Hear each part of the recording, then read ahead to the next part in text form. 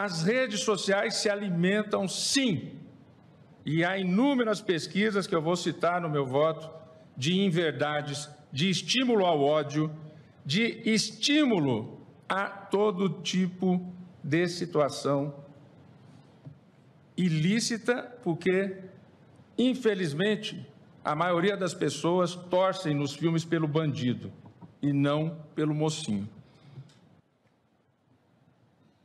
Não sei qual a razão da natureza humana, mas mutatis mutandi é disso que se trata. Aquilo que dá like nas redes sociais não é a verdade. Não são as boas ações. Não são as redes de ajuda. Infelizmente,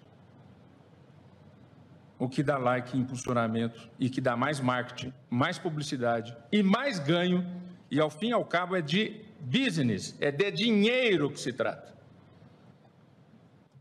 É disso que se trata. Não há interesses aí, me desculpem, outros que não o lucro.